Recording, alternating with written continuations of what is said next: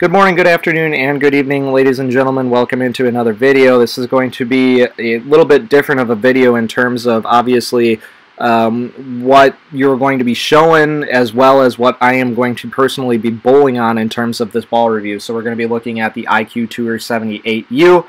Obviously, before we do, just got to get through my whole um, thanking I Am Bowling, Storm Bowling, and uh, Vice Inserts for their continued support. If you like uh, the t-shirt that I'm wearing or any of the other jerseys you see me wearing in any of my videos, make sure you uh, head on over to iambowling.com, get yourself a, a Storm jersey, Storm t-shirt, uh, whatever you want, and then head on into your local VIP Pro Shop and check out the newest and latest and greatest releases from Storm, uh, and make sure you get some Vice inserts in your bowling ball as well. So with that being said, we are going to be looking at the IQ Tour 78U. Uh, that is the newest, greatest release from Storm, obviously in terms of urethane as well. So we're certainly going to be looking at it uh, differently as well today too. We're only going to be throwing on one pattern, and it's going to be a fairly difficult pattern.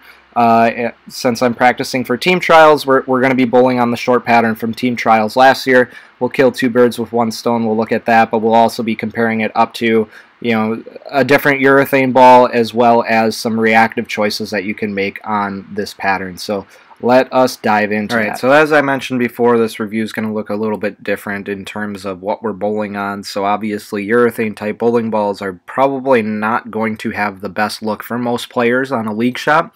So we're going to be looking at the 2023 uh, Team USA Team Trials Day 5 pattern. Since I'm going out to Team Trials in a couple weeks, I thought I'd kill two birds with one stone, get a look at the urethane type ball on a shorter type pattern while still practicing for Team Trials. So along with that, let's talk ball here for a minute before we go into how the ball actually looks. So this is the IQ Tour 78U. Uh, this cover stock is the Control 78 solid urethane cover stock. So basically the brand new urethane that conforms with the PBA's regulations. We have the C3 centripetal uh, control core, uh, which is common in the IQ Tour Series balls, comes out of box at 500 Abralon, has a flare potential of medium, uh, differential is 029, RG of 249 in 15 pounds. And now let's dive into watching this ball go down the lane here. I thought it was very, very important for me to tell you kind of what I'm doing with uh, hand position and what I'm seeing out of the ball, uh, just to kind of tell you guys what's going through my head. So these first six shots here are not going to look very good. I'm going to tell you guys that flat out.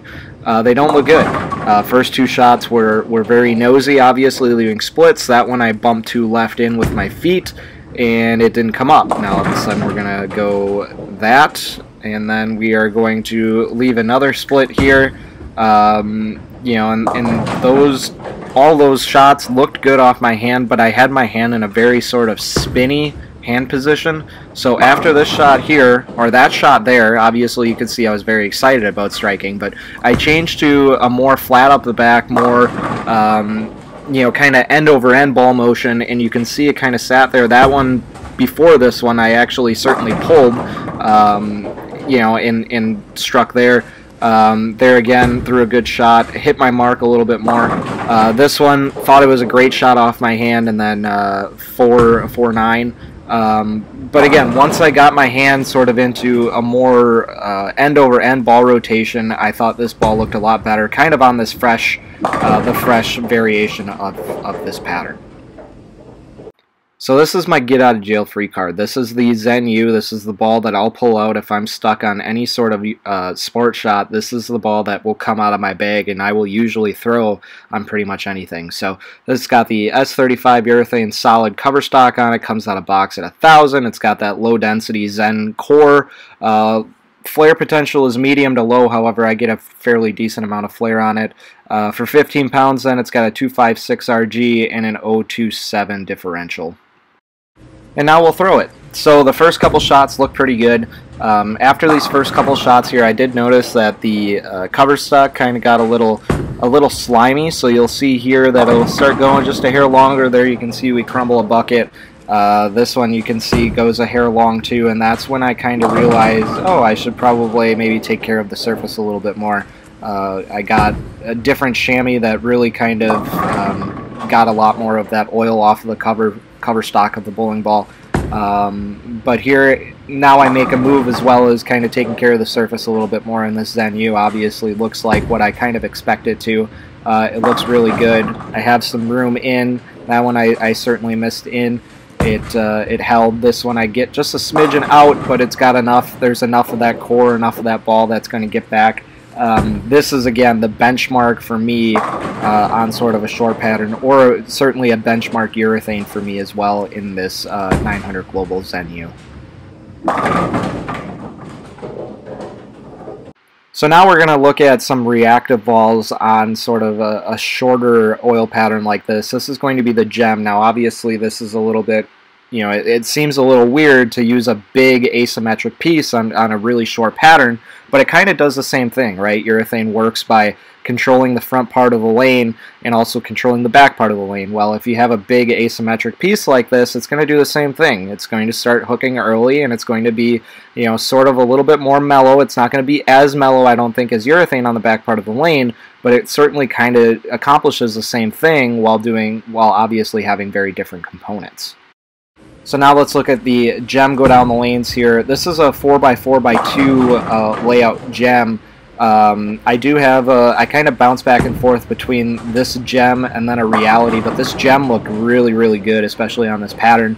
Um, reason being, you know, I, I, certainly got further in. Now, obviously, because this is a reactive ball, you're certainly going to have to cover a little bit more boards in terms of, you know, obviously uh, hooking um, than what you would probably a, a normal urethane type bowling ball. But uh, again, you kind of accomplished the same thing. I felt like I had some miss room as well. I could get the ball in and it wouldn't overreact. I could get the ball out though and it would kind of hook off that one board and it would look really, really good as well.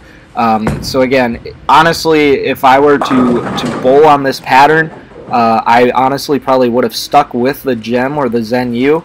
Um, really the only time, obviously, that you're going to use this, this IQ Tour 78 is going to be sort of when you're kind of constricted by the PBA regulations. But again, this gem looked really, really good, and I was really, really impressed with the gem and the reality both on, the, on this pattern as well.